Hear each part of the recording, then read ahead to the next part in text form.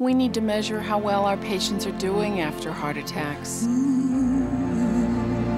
need to know if they're able to work, if they're able to play, if they're able to have a love life. We need to think about all these other things beyond just the old fashioned tests that doctors do.